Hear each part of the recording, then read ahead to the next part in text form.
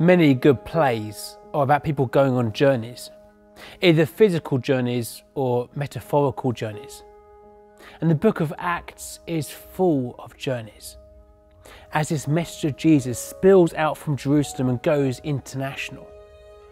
Chapter 13 brings us to the first of Paul's missionary journeys.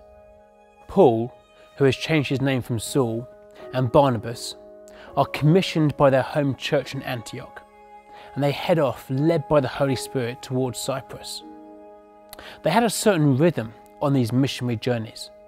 They'd always go to the Jewish people first. They'd arrive at the synagogue and they would share about who Jesus was and about what he had done. They'd always start with their own people first. But often, their message would be rejected. Then they would go to the non Jews with this same message. I find it fascinating on these journeys as to who they end up speaking with. Different opportunities arise. They speak to vast crowds and to individuals. They speak to the well to do and the very ordinary people. They speak to devout Jews and to false prophets. A whole mixture of people become their audience. In this chapter, news about Paul and Barnabas must have spread because they are summoned to come and see the proconsul to share their message with him. But as they get there, there is a false prophet who does not want the proconsul to come to faith. Paul looks at him intently. Spiritually, he sees what's going on in this man's life the deceit, the evil. And miraculously, this false prophet, this sorcerer, is blinded. As this happens, the Roman governor comes to faith. In the next scene, they're in Turkey and they arrive in a synagogue. They hear the reading from the law and the prophets. Then they're invited to speak, to share something. This was quite common for travelling Jews to be invited to share when they were in the synagogue.